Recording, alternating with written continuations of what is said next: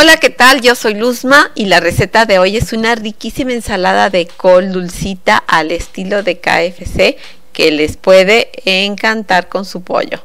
Aquí está la lista de los ingredientes, también la encuentran en la caja de información del video aquí abajito o capturan la pantalla y la guardan en su recetario de una vez. Vamos a usar de preferencia una col que esté muy firme y apretadita para que sea fácil rayarla finamente. Puede ser con este rallador o con el que tengan y luego picarla, lavarla y escurrirla. Vamos a necesitar un rallador fino también para la zanahoria que ya está pelada.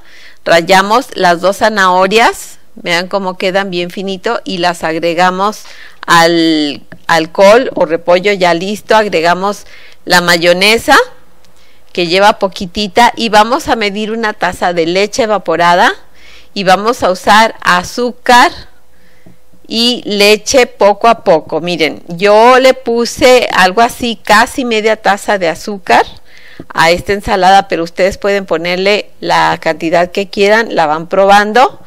Hay que mezclarla con la leche y el azúcar hasta que el azúcar se disuelve. Y una vez que está disuelta el azúcar, le vamos a poner algo para que tome un riquísimo sabor. Es el secreto de esta ensalada. Media cucharadita de sal molida o 3 gramos para esta cantidad. La disolvemos en la leche del centro y luego la mezclamos. Miren, yo usé como 3 cuartas partes de taza de leche y casi media taza de azúcar para todo esto, pero la dejé a mi gusto. Entonces, como les digo, vayan probando y una vez que la tengan a su gusto, hay que dejarla reposar un poco, por lo menos una hora, y ya lista para servir. Aquí siempre la ponemos en, en trastecitos de estos para que conserve su jugo y no se riegue por el plato. Por ejemplo, para acompañar unos nuggets de pollo queda buenísima con su aderezo que ya les voy a pasar también la receta o con un pollito espectacular. Con lo que la pongan va a quedar rico, pero sobre todo con el pollo. Bueno, pues espero que les guste la receta. Déjenme por favor sus comentarios y platíquenme cuando la hagan, cómo les salió. Y pues ya que andan aquí, regálenos un me gusta y compartan el video con todas las personas que quieran.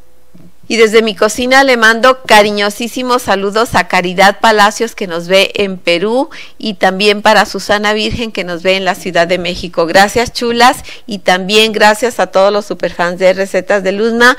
Si todavía no están suscritos o no nos siguen, los invito a que lo hagan en este momento. Es nada más cuestión de dar un clic y ya están dentro.